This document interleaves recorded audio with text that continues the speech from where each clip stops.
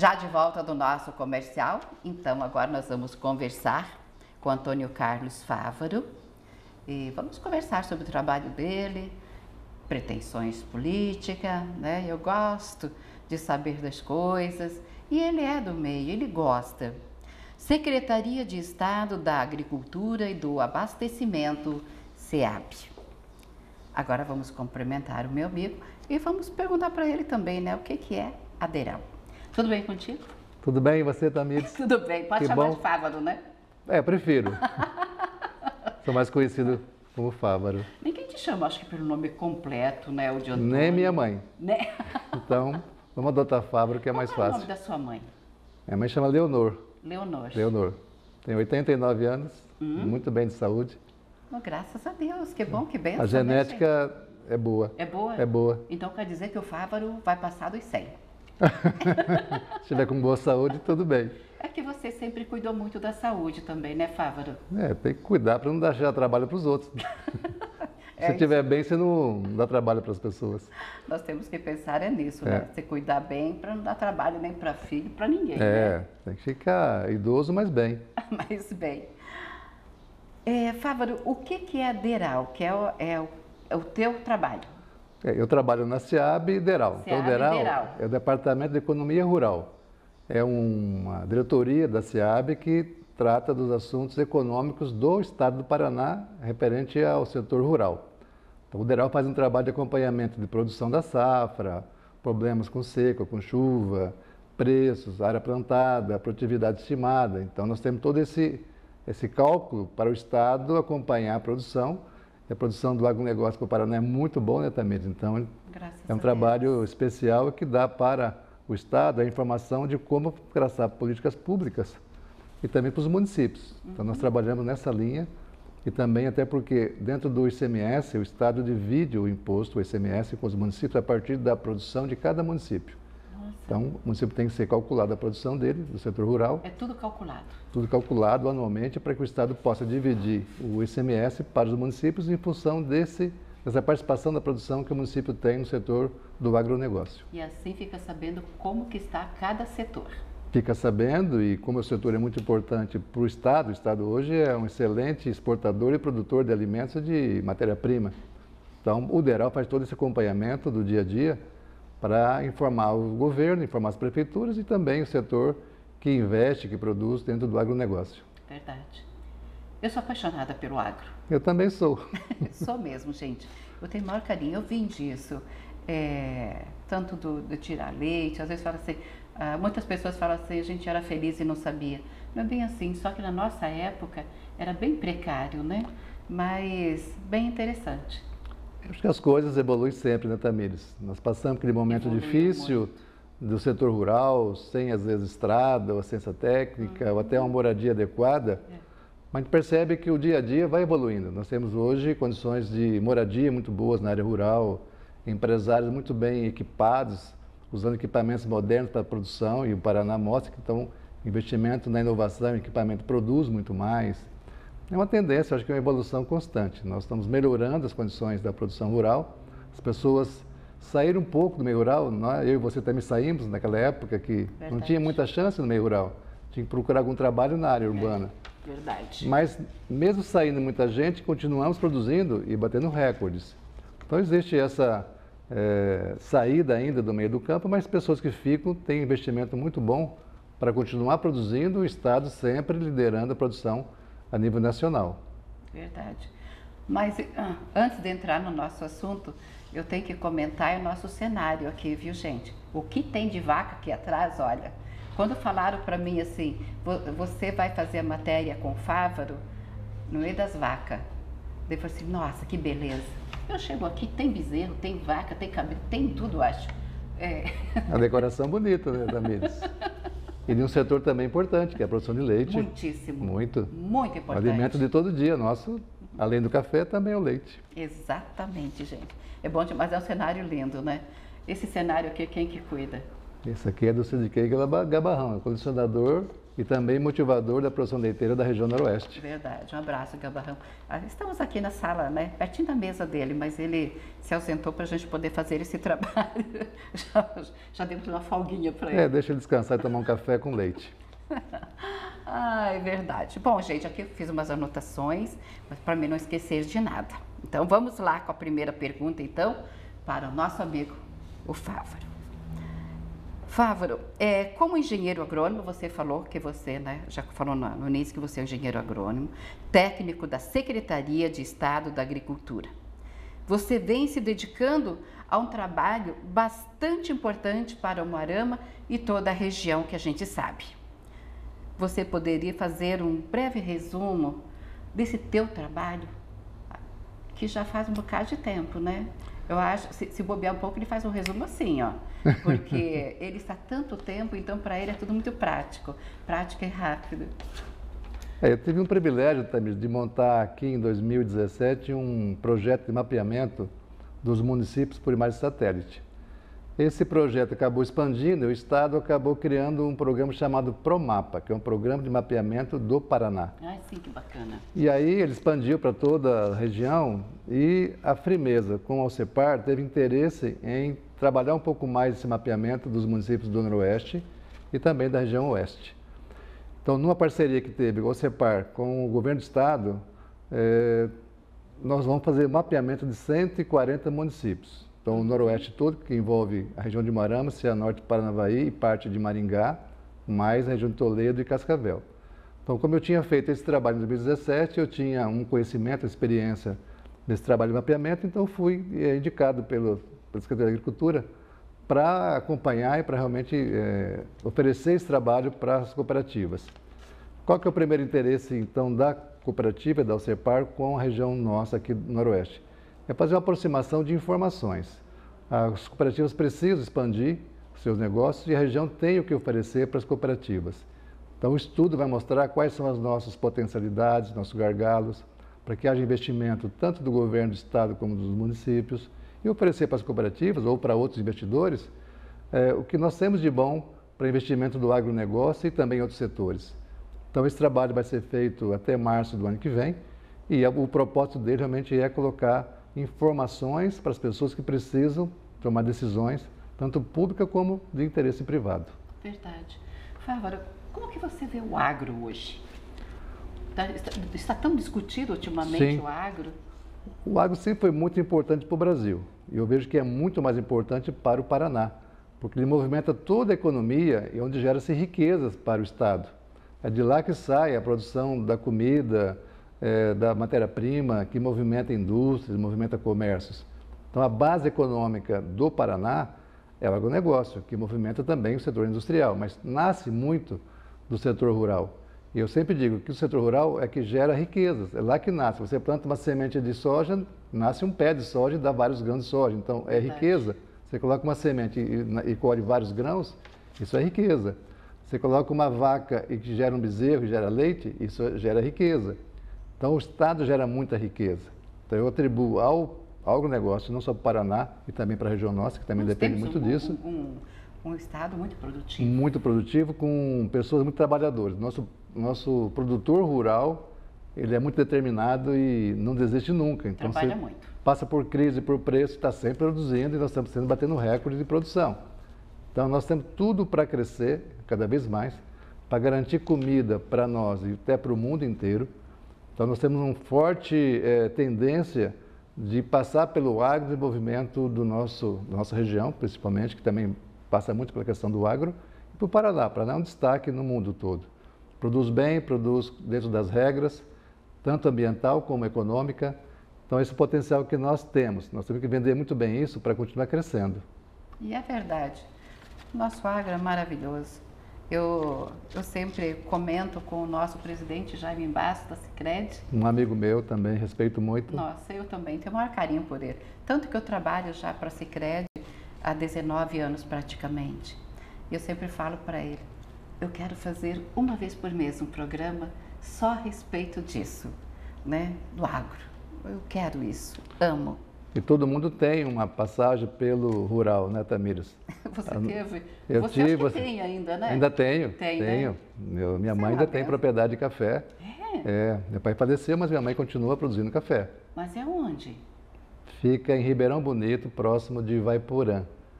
A propriedade tem parceiros, produz um café de boa qualidade, garante emprego para 10 famílias na parceria e produz o café nosso de cada dia. Ah, leva a gente para lá um dia para gente Vamos fazer matéria. fazer lá uma degustação. Nossa, olha só que bom. Pronto, já aguçou. Então nós temos que fazer isso. Você está em Moarama desde os anos 80, é um bocado de tempo. Você veio de onde? Eu vim de Cambará, mas por- passei por Cascavel, por Toledo, Cambará, depois fiquei em Você Morama. morou em Cascavel? Em 83 eu morei em Toledo e em 84 em Cascavel. Eu também morei em Cascavel. Então, nós e temos- trabalhei em Toledo muito tempo. Então, eu conheci toda aquela região, as pessoas, o Também potencial que tem. Cresceu muito depois que eu passei por lá. Volto lá sempre e vejo que é uma região crescente continuamente. E é verdade, Toledo Muito cresceu bonita. bem, Cascavel cresceu bem. Cresceu. Uma cidade muito linda, muito bonita mesmo.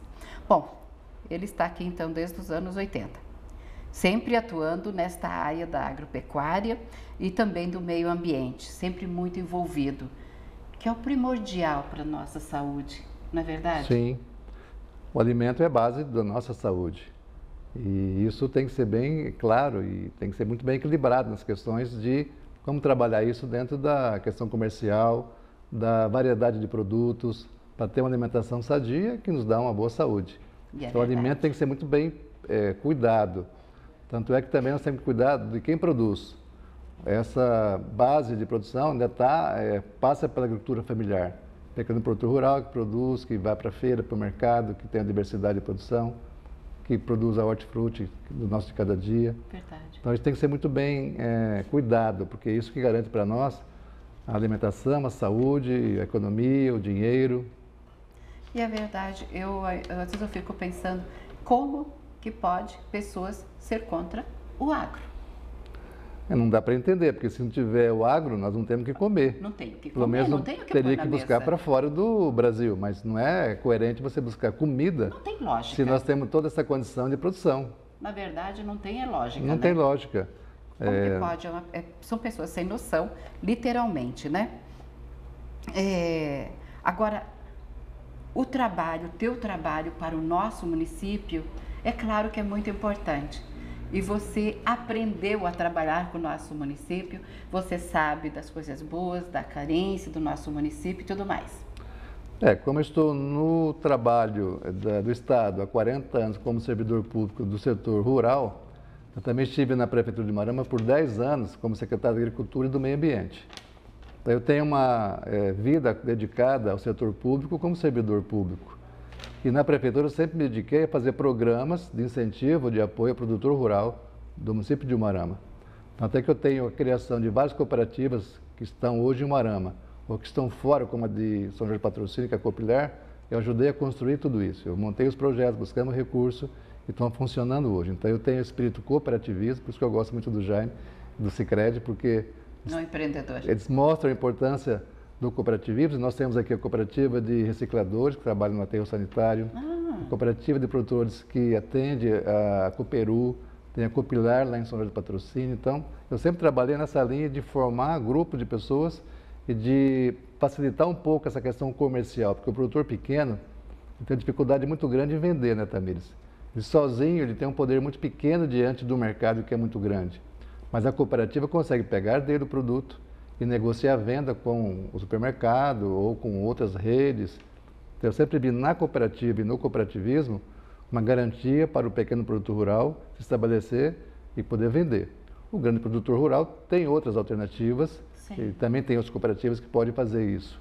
Mas o pequeno tem que ser muito bem cuidado. Então, eu estou desde 2000, 2001, eh, conhecendo bastante como é que a prefeitura eh, funciona ou como deveria funcionar. Então, nós temos que ter também essa visão. Se não está indo bem, nós temos que fazer mudanças, porque o município ele tem um papel importante no estímulo da produção rural, de organizar o produtor, dar investimento, dar garantias da venda. Então, eu sempre me dediquei ao setor público e sempre gostei de fazer isso.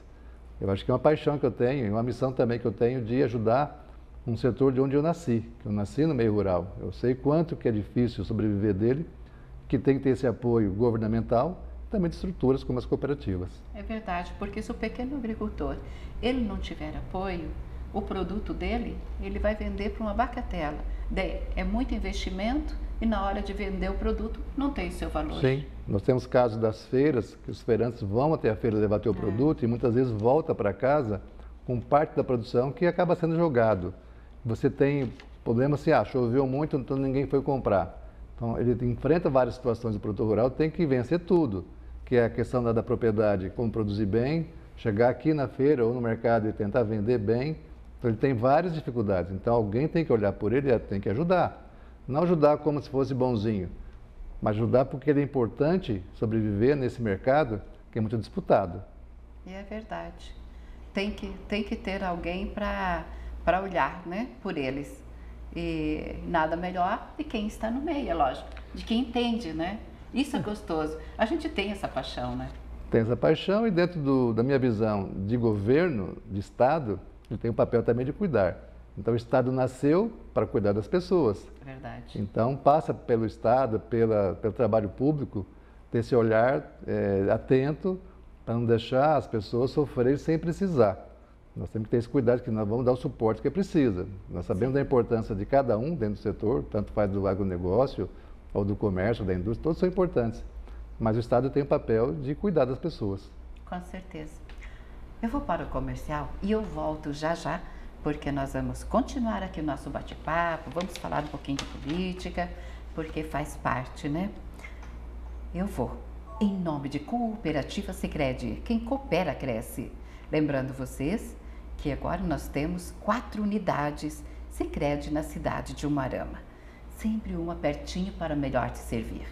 Com aquele carinho, aquela atenção. Na Sicredi, você não é mais um. Você é o seu José.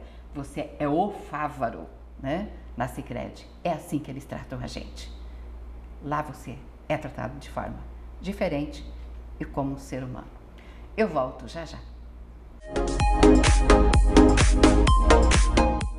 Cada dia no Cicred é assim. O Cicred inteiro fica te esperando pra te ver sorrindo, pra te ver sonhando. Aqui no Cicred não é só dinheiro, é ter com quem contar, é confiar, realizar de jeito maneira. Não é só dinheiro, é ter um parceiro. Eu sou o Cicred, todo o Brasil inteiro. Não é só dinheiro, é ter com quem contar. Abra sua conta no Cicred. Já de volta do nosso comercial, vamos continuar então nosso bate-papo aqui com o Fábio. As perguntinhas estão aqui tem que ser tudo bem anotadinho para não esquecer nada. Ele é bastante ocupado, né? Então a gente tem que aproveitar o momento. Fábio, trata-se de um trabalho também é, de resultados práticos em curto ou médio prazo. Como poderá refletir na economia e no social todo esse trabalho? É, quando a Frimeza e a OCEPAR procurou o governo do estado, foi com a intenção de fazer investimento na região noroeste do estado. Sim. A princípio, eles estão com uma situação de procurar plantar é, eucalipto para fornecimento de energia para eles. Nós temos a unidade é, ainda nova, considerando fazer mais instalações, da Primeza em Assis Tobriand. Sim, que é linda. Linda e grande. E produz muito e precisa de madeira para poder gerar a energia que ela é, consome lá. Então, essa vinda da Frimeza e da Ocepar foi pensando nessa, nesse mercado primeiro. A região tem uma área muito extensa, aqui a cultura de eucalipto vai muito bem, ela tem um crescimento muito bom em relação a regiões mais encontra, frias. Né, várias é, lavouras. Várias né, lavouras. De eucalipto. Então, eles vieram procurar essa oportunidade e a região tem condições de atender essa demanda que eles têm. Então, a princípio, foi nessa linha que a Frimeza procurou a região noroeste e o governo do estado. E aí surgiu então a ideia de fazer um mapeamento para mostrar onde na região do Noroeste teria condições de implantar florestas, é, em parceria com produção da pecuária de corte e leite ou em parceria com a produção de grãos. Então eles têm o objetivo de vir para cá numa parceria que não é, cria atritos com o uso e ocupação do solo. Hum. Então a ideia do mapeamento foi para oferecer para eles qual região está mais próxima, mais próxima da região que eles precisam consumir essa madeira, que região é mais fácil ou mais oportuno fazer o incentivo do plantio do eucalipto. Então, esse mapa foi para isso. Então, nós estamos vendo que a curto prazo já vai haver uma repercussão positiva nos investimentos da cooperativa, da Primeza principalmente, mas também não impede que as demais cooperativas da Aliança da Primeza venham investir aqui, nessa busca de oportunidades. Além da floresta, também tem outras produções. O leite é um exemplo disso. Sim. A região oeste tem reduzido um pouco a produção de leite. O produtor tem procurado lá opções mais rentáveis. E a região nossa tem também o potencial de produzir leite também em função da condição da pastagem. Aqui com o clima de chuvas normal, com o sol, você produz muita comida. Se você tem muita comida, você pode ter o leite produzindo naturalmente. Claro. Então essa é a ideia, de oferecer a questão do plantio de eucalipto, a questão do leite, de outras situações que você pode investir aqui, como também o peixe, a carne bovina. Uhum. O mercado é muito grande para se oferecer para as cooperativas. Então nós temos essa visão de vender essa condição de investimento para as cooperativas. Então eu vejo que a curto prazo nós já vamos ter investimento para as cooperativas na região, principalmente o Marama, que é a mais próxima que eles têm da demanda que eles estão precisando para hoje. Mas todo o Noroeste tem um potencial muito grande para oferecer para os investidores e para as cooperativas. Verdade. A plantação de eucalipto é uma plantação de que pode colher rapidamente ou não? Ela é rápida? Ela, ela tem um prazo para ser cortada. Isso varia entre 5 e 7 anos. Então nós temos que ter também esse planejamento do consumo que eles estão tendo hoje, de abastecer isso de forma permanente, porque, até porque agora nós não temos uma alternativa é, fora da madeira, fora da lenha. É, ou energia elétrica, que é muito mais caro, é petróleo, também não é, é inviável você fazer o uso disso, então, ainda há o eucalipto através da lenha é o melhor caminho para se gerar energia. É, e essa mudança dessa matriz demora muito tempo para poder mudar. A própria cooperativa calcula que em 20 anos não consegue mudar essa matriz de energia para trocar o eucalipto por, por outra coisa. Então, ainda prevalece a produção de energia através da madeira. Sim. E a piscicultura? Nossa região aqui é da piscicultura ou não? Também é, e nós temos uma condição climática boa também, e também temos volume de água muito grande na nossa região. Então você tem essa condição da propriedade estar é, aberta para isso, o produtor procurando uma alternativa da atividade econômica da propriedade, a produção de água suficiente para poder abastecer essa piscicultura.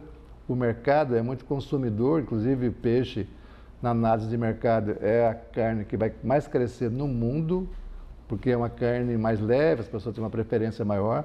Então, mostra-se o mercado que a tendência é crescer muito o consumo de peixe.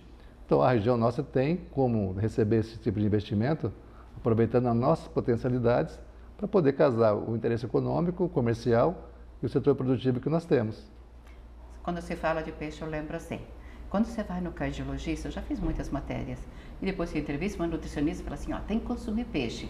Por que, que o peixe se torna um produto tão salgadinho? Quem sabe a nossa região produzindo bastante peixe, fica uma baratinho. É, nós estamos com uma tendência de reduzir esse custo de produção. Ainda é um pouco realmente salgado para todo mundo consumir. Mas é verdade. Mas se o mercado tiver mais produção, ele acaba tendo um equilíbrio da oferta e da demanda. E o preço tende a se estabilizar, talvez num preço adequado para mais gente consumir. É essa a proposta que nós temos que ter. É produzir mais sem que o produtor deixe de ter o teu lucro, mas garantir para o consumidor um preço adequado para poder comprar essa carne. E é verdade. Agora nós vamos falar um pouquinho sobre política. Pode ser? Pode ser. Diversificar o assunto? Vamos lá. Você foi candidato a prefeito de Umarama em 2016 quando perdeu para o Celso Pozubol. Depois, você se recolheu politicamente das eleições de 2020. E, nos próximo, e no próximo ano? A gente pode, já podemos ouvir assim nome Fávaro, que pode sair. Você, você não tem partido? Não, não tem. Não tem. Então o Fávaro é um homem sem partido. É. Por enquanto. Por enquanto. Isso lembra o Bolsonaro, ele saiu sem partido Sem também. partido também. Sempre vou lembrar disso. E, e daí, será que a gente vai ouvir o nome Fávaro? Você está aí propenso a sair a candidato? Estou fazendo um trabalho um pouco diferente, um pouco mais técnico também, que seria organizar um grupo de pessoas e de ideias para apresentar um plano de gestão pública, um plano de governança para o município de Umarama e para a região também, que eu acho que o Umarama tem um, uma, é, uma tarefa, além de administrar a própria cidade, que também ajudar a região a se desenvolver. Então, nós estamos montando um plano para estudar quais são as potencialidades que o município tem, juntar pessoas que têm o mesmo interesse em desenvolver o município, de tornar a política atrativa para todos. Existe um preconceito muito grande é, de que o político está desgastado, as pessoas não confiam mais. Então é preciso fazer uma mudança de comportamento. Então eu venho nessa linha, eu tento fazer parte de um grupo é, que está estudando uma proposta de gestão pública, de governança e depois uma aliança política que vai apresentar nomes para disputar a eleição para o Marão para prefeito, vice, vereadores. Eu penso que é necessário discutir isso de forma muito técnica para que você tenha a chance de oferecer para o cidadão e para o eleitor uma visão mais clara do que é ser gestor público, do que é planejar uma cidade, para onde nós estamos indo. Isso passa muito também pela questão que discutimos até agora, dos investimentos, do conhecimento de um município, do, do agronegócio, o envolvimento, envolvimento pessoa, das pessoas. Nós temos que tornar a política atrativa e respeitosa, não só para votar. A pessoa tem que se envolver no dia a dia. De fazer parte de uma discussão de um plano, da opinião, de criticar o político, cobrar dele uma proposta de que ele prometeu e não cumpriu. Então nós temos que deixar bem claro que o cidadão, num país democrático, tem direitos ele tem a obrigação de votar? Tem. Direitos mas também tem direitos de cobrar do cidadão que se dispôs a ser público ou ser político. Uhum. Então eu não penso agora muito na questão de ser um pré-candidato ou de ser um candidato, mas de ajudar a construir um plano para o Marama no médio e longo prazo. Nós não podemos pensar em Marama só de quatro em quatro anos. Isso é ruim para uma cidade, um município, ter essa segmentação de prazo. Então a proposta nossa é fazer um plano para 20, 30 anos para o Marama, pensando na questão política e desenvolvimento econômico e social. Fazer com que a nossa cidade cresça, né? É, o Morama cresce, só que ela pode crescer mais rapidamente. Muito mais. Essa é a proposta. Eu nunca colocaria que o Morama está ruim ou está parada. Está estagnada. Não, o Morama é uma cidade muito bonita, as pessoas é, gostam de estar aqui, é uma cidade que, que se atrai pessoas para cá. Só que ela pode ter uma agilidade nos investimentos e desenvolvimento econômico e social. Essa é a proposta desse grupo de tornar o Morama atrativa, é, mais desenvolvimentista, que chegue num alcance de metas mais rápido, porque tem municípios no entorno que crescem também mais rápido, que é o exemplo de Toledo e Cascavel, cresce muito mais rápido. O Morama não tem que ficar para trás, ela pode também caminhar do mesmo ritmo que as demais cidades, só que ela tem que ter um plano é, de investimento e um plano de política pública para que isso aconteça realmente, porque nós temos que entender, o setor público influencia muito nos investimentos. Então, ele tem que estar muito bem preparado para buscar esses investimentos e dar segurança para quem quer investir aqui. Agora, vamos para a gente encerrar. É, vou te deixar bem à vontade, fazer um resumo mesmo. Você reside em Moarama, no nosso município, desde 80, dos anos 80, né? Então já um bocado de tempo. É, faça um resumo de tudo. De que forma que o Fávaro, que pode ser aí um pré-candidato que nós falamos? É, hoje só pode falar que é pré-candidato. Legislação brasileira eu estou falando só permite tudo, pré. Eu falo isso, mas eu não sei se é bem isso também, é, né? Mas, mas é isso. enfim, mas é isso. Que bom ouvir isso dele também. Mas desse, esse tempo todo que você reside no município, faz um resumo de tudo. O que que você acha que o Moarama precisa para crescer mais? Se ela já está bonita, como você falou, é uma cidade atrativa, tudo bem. Mas o que, que precisa? Essa proposta que nós estamos montando um grupo para fazer isso. A indústria também precisa ser colocada, mas dentro de um planejamento que o município vai oferecer para os investidores. Então, qual a proposta desse grupo? É planejar investimentos, desenvolvimento dentro da área pública e oferecer para o investidor. Então, o Marama tem um potencial muito forte já hoje, que é do comércio e serviços. É, se comparar com o Cianorte e Panavaí, o Marama ela vende o dobro do que Panavaí e Cianorte vende. Então o comércio e serviço nosso é muito forte. E dentro desse comércio e serviço, o que é forte também, que representa muito bem, é a saúde. Então 25% da atividade do comércio e serviço vem da saúde.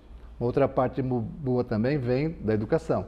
Então nós temos esse, essa estrutura para oferecer para a região toda ou para investidores, para quem quer morar em Morama. Então já é forte isso e poderia até melhorar se quiser.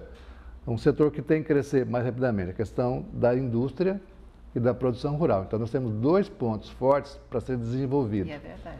Então se você conseguir levar o nível de produção rural, com atividade de transformação que seria a indústria, garantir para o comércio o movimento dessa riqueza, o Morama vai crescer muito mais rápido. Então essa é uma proposta que nós estamos oferecendo para o Morama. É ter um plano para fazer investimento nessas áreas e tornar o Morama atrativa e boa para nós vivermos, trabalharmos, viver e morar por aqui.